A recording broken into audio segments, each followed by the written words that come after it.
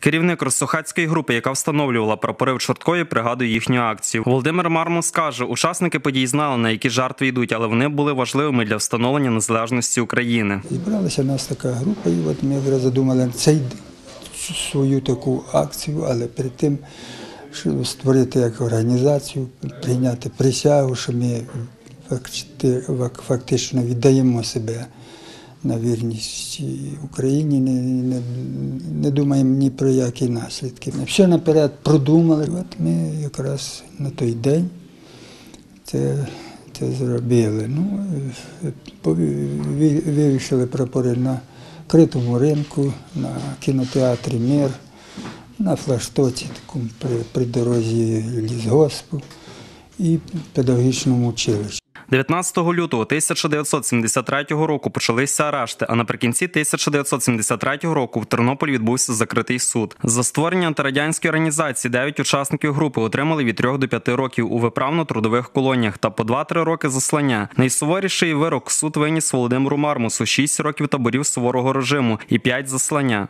Чим далі ця дата, тим більше розуміють, що це просто неоціненний подвиг. Що таке 70-ті роки? Радянська влада була настільки вторгнена в наші не тільки нашу територію, а в наші мозги, на наших спинах. І вони створюють молодіжну націоналістичну організацію 73-й рік.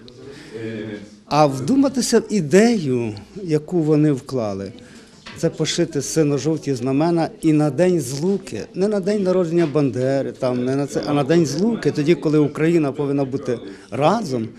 Ці сино-жовті знамена вони розвішали по адмінбудинках міста Чорткова. Конверти виготовлені на замовлення творчого об'єднання кінохвиля та Тернопільської іконокомісії, каже співорганізатор виставки Володимир Ханас. Ми е, підготували такий е, спеціальний конверт з зображенням, е, зображенням тої листівки.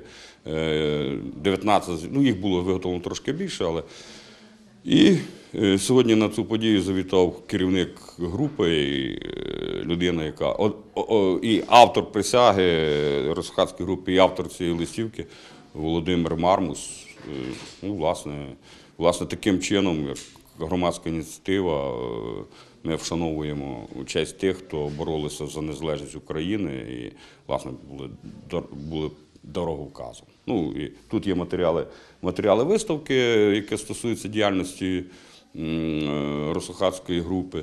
У 2006 році указом президента України росохацьких смілиців нагородили орденами за мужність першого ступеня. Їхні імена також закорбували на пам'ятній таблиці, відкритій на приміщенні Чортківського педучилища 26 січня 2012 року. Богдан Боденчук, Юрій Багрій, Вісті ТТБ.